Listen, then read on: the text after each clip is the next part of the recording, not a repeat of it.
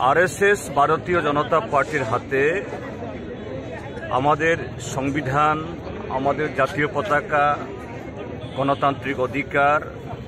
আইনের শাসন সবকিছু আজকে বুলন্ডিত এই সংবিধানকে অর্থাৎ মানুষের অধিকারকে বাঁচানোর লক্ষ্যে